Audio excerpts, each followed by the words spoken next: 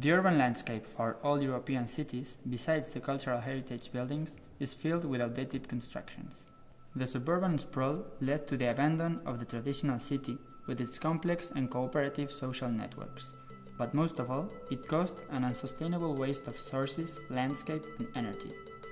Solar Decathlon 2014 competition is the standard for self-sufficient innovative homes. This makes it the most suitable scenario to raise people awareness about sustainability in our cities and prove that another way of thinking is still possible. Somos Plateau Team.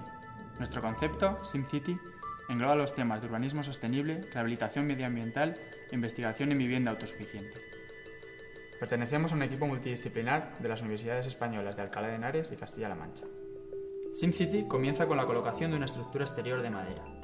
La sustitución de la vieja fachada por un nuevo muro cortina permite el almacenamiento de calor en el nuevo espacio de terraza que gana la vivienda.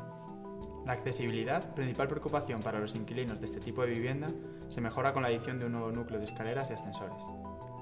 Proponemos añadir un nivel extra sobre las cubiertas del antiguo edificio, para financiar la operación e impulsar su renovación.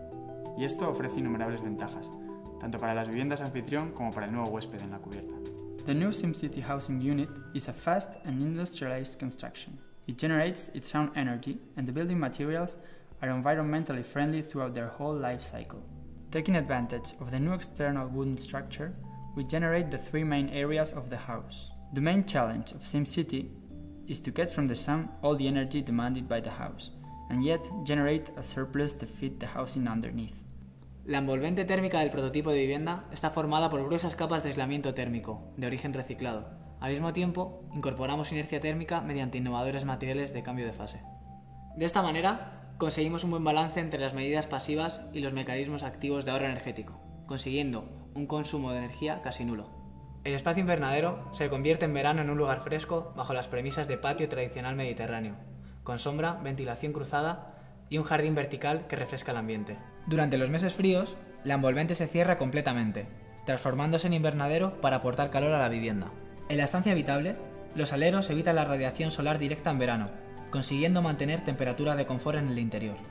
Por otro lado, cuando el sol incide más inclinado en épocas de invierno, la radiación incide en un muro acumulador de calor, calentando el aire interior de una cámara y transmitiéndolo al interior por diferencia de presiones.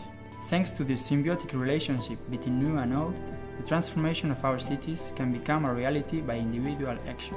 Plateau Team believes in the compact city as the most balanced model for human settlings.